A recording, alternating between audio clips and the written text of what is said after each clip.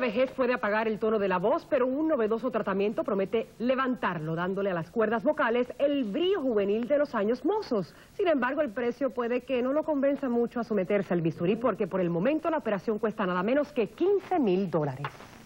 Y otro tratamiento que no es menos novedoso se está imponiendo en las salas de cirugía para destapar las arterias de las extremidades que se han bloqueado con el tiempo.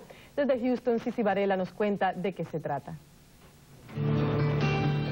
Caminar del brazo de su esposa es para Bobby Ogg el mayor placer que puede disfrutar. Hasta hace unos días, las arterias de sus piernas estaban bloqueadas y el dolor no le permitía levantarse. It hurts like uh, you got a cramp in your leg.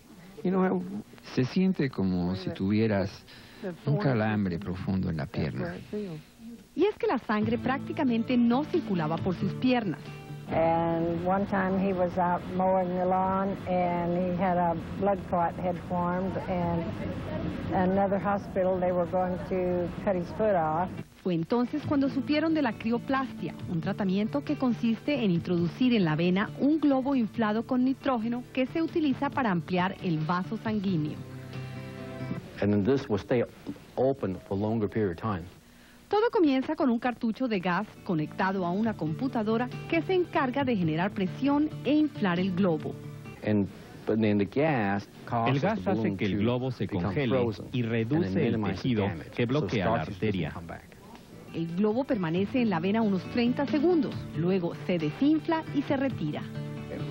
hay menos daño a la, a la pared del vaso y hay menos necesidad de volver otra vez a reintervenirse y pueden durar más tiempo con buena circulación en las extremidades. La circulación sanguínea se restablece inmediatamente y los efectos son muy duraderos. I didn't have any of that. and I couldn't talk.